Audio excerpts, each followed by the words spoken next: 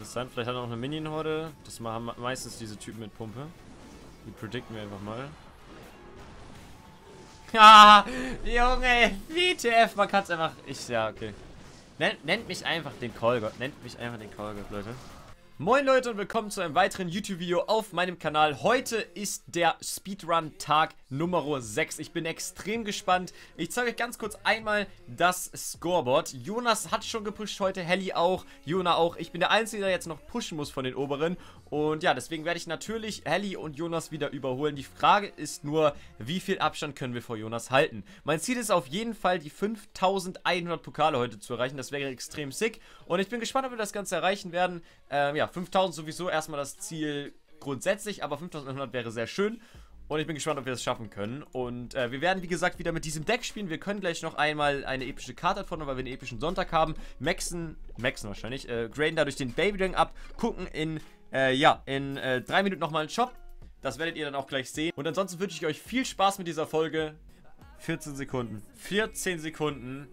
Ich bin extrem gespannt. Wir können hier auch einfach äh, Lumberjack oder Inferno Dragon ziehen. Wir können hier auch einfach einen Sparky ziehen. Wir können ja einfach einen Sparky bekommen. Ihr könnt jetzt auch einfach einen Sparky ziehen. Ich bin gespannt. Und, was ist es? Graveyard. Erstmal eine epische. Ja, wir brauchen kein Hawkrider, wir brauchen keine Kanonkarre. Graveyard, Leute. Graveyard. Das Projekt geht ja eh so wahrscheinlich 12 oder 15 Folgen. Wir sind bei der sechsten Folge. Wenn jeden Tag eine Leggy kommt, können wir uns nicht alle kaufen wahrscheinlich. Also würde es schon Sinn machen, die wichtigen mitzunehmen. Aber Graveyard haben wir auch noch nicht. Eigentlich würde ich das schon mitnehmen, oder? Einfach auch nur, um es zu haben. Weil dieser Account könnte vielleicht mal ein Practice-Account später werden oder so, wo ich alle Level habe. Hm. Keine Ahnung. Okay, dann werden wir es, glaube ich, nicht kaufen. Ne, dann werden wir es, glaube ich, nicht kaufen. Wir warten ab, Leute. Vielleicht nochmal morgen Abend. Ich werde erstmal abwarten und gucken, wie wir das Gold selber brauchen. Und entscheide das Ganze dann. Epischer Sonntag, sehr schön. Wir fragen die Babydings an. Und jetzt geht's an mein Clan. Bitte haut mal hier die Babydings rein. Wir brauchen jetzt hier Babydings. Das wäre extrem nice. Ich will nämlich hier auf jeden Fall die Babyding upgraden. Das ist der erste am Start von Regen. Vielen, vielen Dank, Regen. Sehr, sehr, sehr nett von dir an der Stelle. Ehrenmann, Kuss geht raus. Kuss geht raus.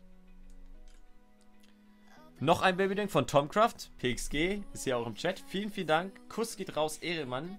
Meine Community ist einfach legendär. Und noch ein Babyding haben wir. Ich weiß gar nicht, von wem das war, aber wir haben die Babyding voll. Vielen, vielen Dank für den Support. Hä?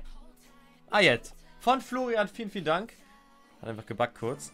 Baby Dragon geht damit auf Level 10. Extrem wichtiges Upgrade. Jetzt haben wir alle Karten Level 10 außer Golem, Nado, Zep. Nado ist nicht so wichtig, Zep ist auch nicht unbedingt so wichtig und Golem ist natürlich schade, aber Golem haben wir immerhin jetzt überhaupt Level 9. Der war gestern ja noch auf Level 8. Also wir haben auf jeden Fall nochmal ordentliche Upgrades von den Leveln her und ich glaube, das Deck ist auch so einfach extrem stark und damit können wir sehr gut hochpushen. Ich bin gespannt.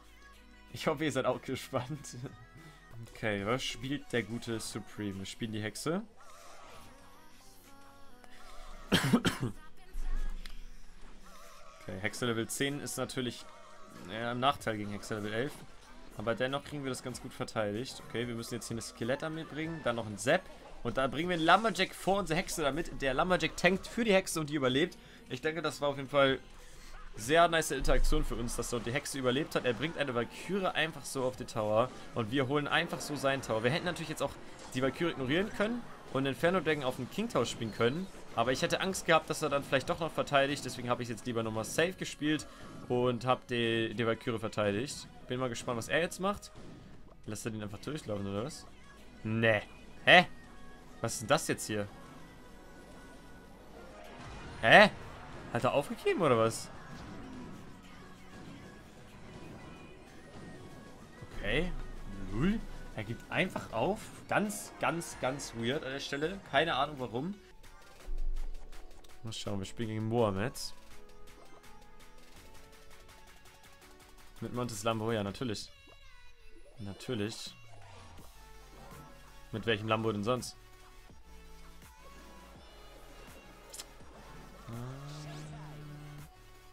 Ah, wir haben kein Nedum Cycle, RIP. Golem eher ein bisschen weiter vorne platzieren. Eine Pumpe, während wir einen Golem reinpushen, okay. Interessant, vielleicht hat er noch eine Minion-Horde. Das machen meistens diese Typen mit Pumpe. Die predikten wir einfach mal. Ja, Junge, WTF, man kann es einfach. Ich, ja, okay. Nennt, nennt mich einfach den Callgott. Nennt mich einfach den Callgott, Leute. Lul. Das war wieder insane. Können wir ihn vielleicht überrennen einfach?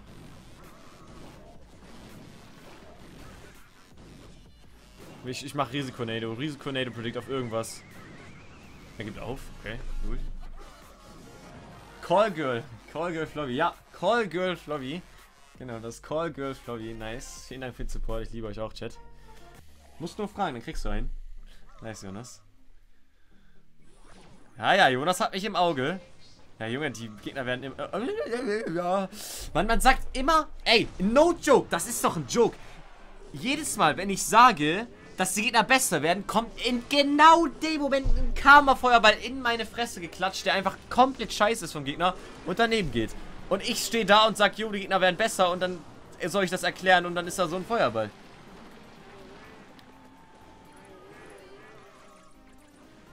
Ja. Aber vielleicht bleibt die Hexe da stehen an der Brücke. Ja, oder auch nicht. Wieder so ein schlechter Feuerball. Ey, wie kann der Typ überhaupt noch... Wie kann der Typ überhaupt... Wie kann es überhaupt ansatzweise gut für ihn aussehen, obwohl er so sackt?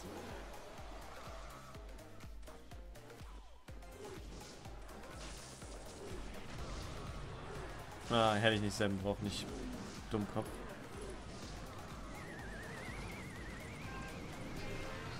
Ja, wahrscheinlich tickst du noch da drauf. Wahrscheinlich ist der Inferno-Drache connected auf dem Golem, nachdem der zwei Millionen Jahre weg, weit weg ist. Ja, wahrscheinlich, genau. Erklär mir das doch bitte mal spielen. Nein, kannst du nicht erklären. Ja, wahrscheinlich. Ja, macht gar keinen Sinn. Macht ja gar keinen Sinn. Der Typ hat ja so ein Glück gehabt. Holy shit. Oh. Junge, warum wissen... Hä? Was für... What the fuck? Ich hätte nicht sämmen sollen. Hätte ich, hätte ich offens defensiv nicht gesäppt, hätte ich das Game gewonnen gehabt, glaube ich. Oh, hätte ich gerade nicht gesäppt, das regt mich gerade so auf. Hätte ich nicht gesäppt, hätten wir das Game gewonnen gehabt. 100%. Dann hätte ich offensiv sämmen können und hätten wir das Game gewonnen gehabt. Ach man, das ärgert mich gerade so hart. Wir hätten den Turm auf jeden Fall geholt. So, jetzt machen wir mal den typischen Ignorier.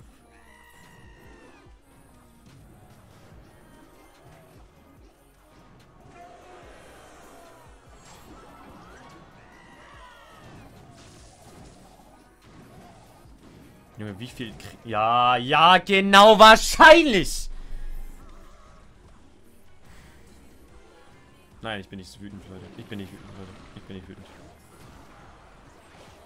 Ja, Valkyrie auch noch. Ja, ja, macht Sinn. Macht Sinn, das Game.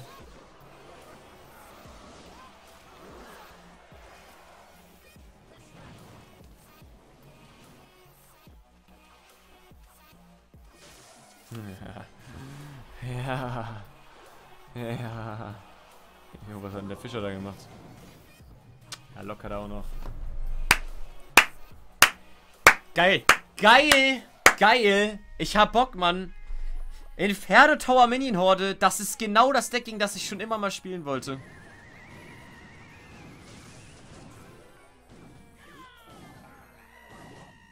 Ja! Der Connect ist drin! Ja! Ich freue mich so für ihn, Mann.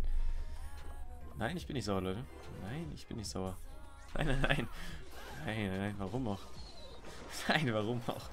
Warum sollte ich auch sauer sein? Junge, das ist so low.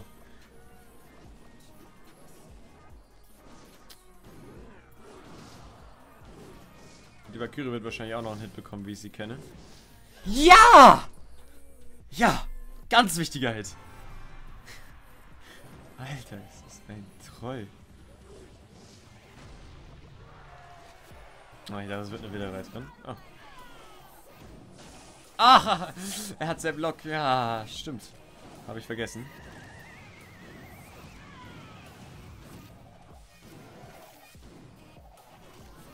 Ja, ja, ja, stark gespielt.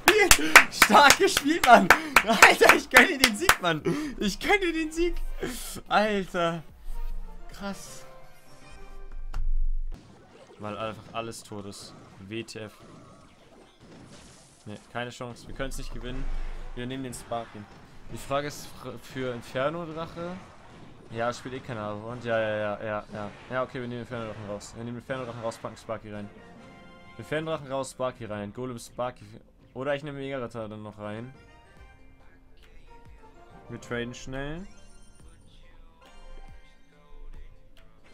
Traded. Geil. Ehrenmänner im Clan. Sparky. Für Inferno-Drachen. Und was wir noch machen könnten, wäre Mega-Ritter statt Golem spielen. Aber erstmal mache ich Golem Sparky. Erstmal Golem Sparky.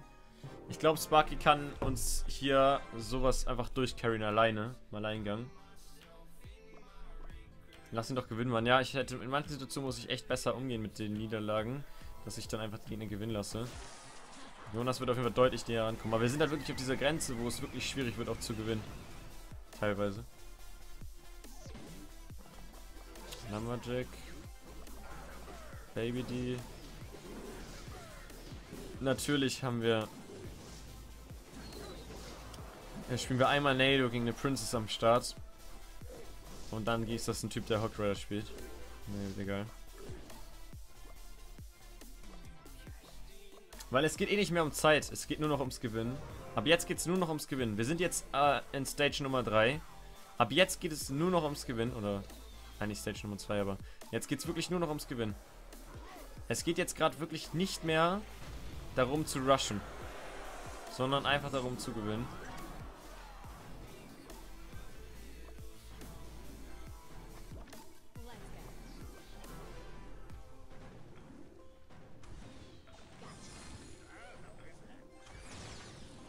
Der trifft beides. Ja. Ja. Ja.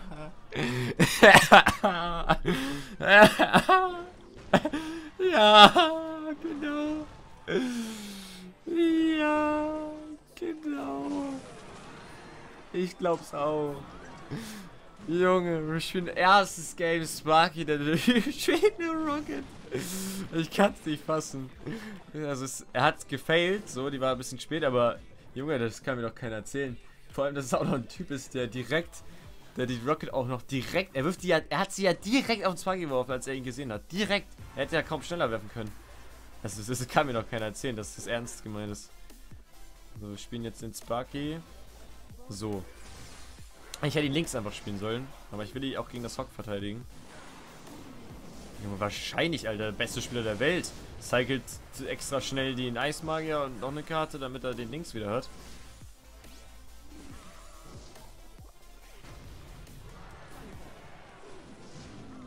Okay, der Magier geht down.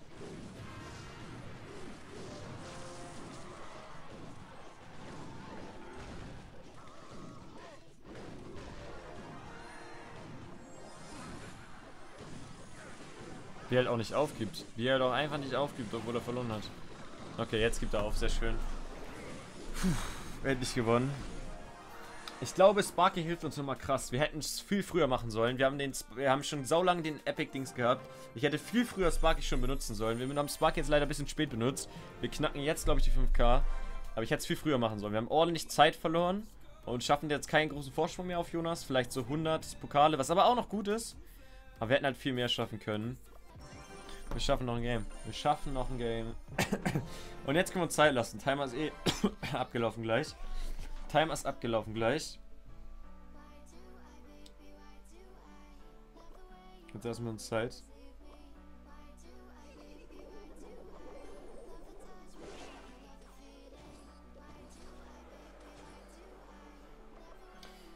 Der wird doch wieder eine Rocket spielen. Junge, ich habe nicht einmal in 5000 Pokalen gegen Rocket gespielt. Und jetzt, seit ich Spark gespielt habe, haben wir gefühlt jedes Mal die Gegner einfach Rocket. Ich weiß nicht, ob der den jetzt hier dabei hat, aber wenn der jetzt eine Rocket auf meinen Sparky wirft, also dann war es das aber auch wieder. Die geht nicht down, RIP.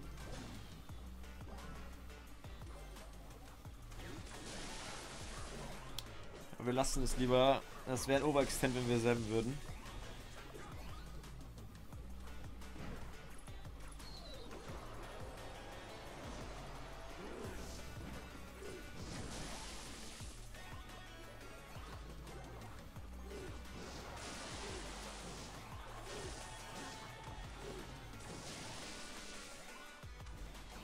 Ah, die Princess macht so viel Damage einfach. Okay, geil. Jo, wie viel Elixir hat er bitte? Der ist down, der Turm.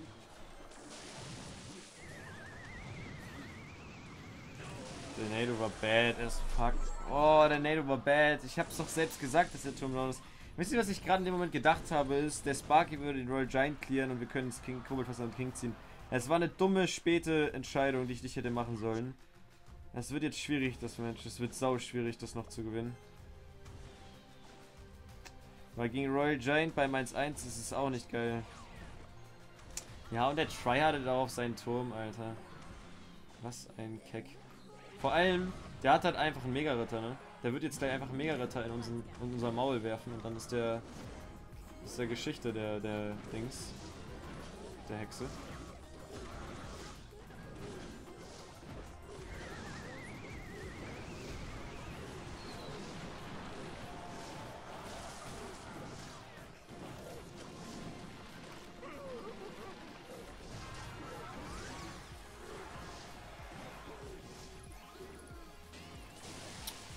Macht Sinn wahrscheinlich. Ups. Ich bin hier aggressiv, Leute. Ich bin hier aggressiv.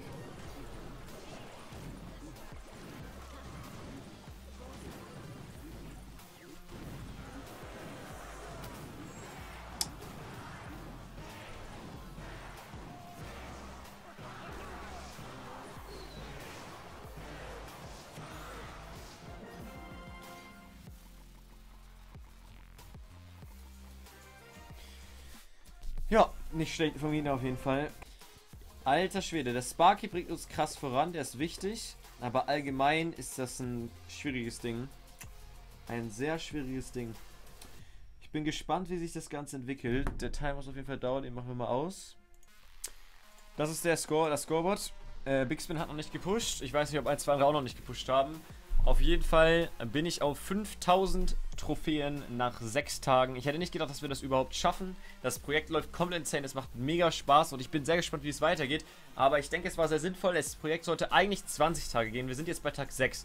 Aber Jonas hat schon richtig erkannt, dass wir werden irgendwann nicht weiterkommen. Deswegen wird das Projekt verkürzt und wird wahrscheinlich 12 Tage gehen. Ich denke, 12 Tage ist da ist alles ausgelutscht. Also wir sind jetzt am 6. Der sechste Tag ist durch. Wir haben die Hälfte dann hätten dann quasi durch, wenn wir 12 Tage machen. Und wir sind jetzt quasi unser Maximum fast. Ähm, klar, wir werden noch bestimmt auf 5500 oder so pushen können. 5600, 5700 vielleicht. Aber irgendwann ist Schluss.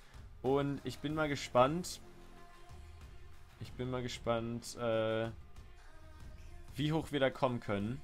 Ja, Leute, das war's mit Tag 6 von äh, dem Speedrun. Ich bin insgesamt auf ja, 5000 und ein bisschen Pokale gekommen. Ich muss sagen, ich bin nicht super zufrieden. Ich wollte eigentlich 5100 oder sogar 5200 erreichen. Ähm, es lief dafür nicht gut genug. Wir haben teilweise einfach Gegner bekommen, die waren zu krass. Da konnten wir wenig machen. Aber ich bin gespannt, wie die nächsten Folgen werden. Wir werden nämlich nicht mehr so krass hochkommen. Ich bin aber gespannt, wie hoch wir überhaupt noch hochkommen können. Wir sind trotzdem noch knapp 100 Pokale in Führung vor Jonas. Und ja, ich bin gespannt, ob wir die Führung auf jeden Fall weiterhalten können über die nächsten Tage.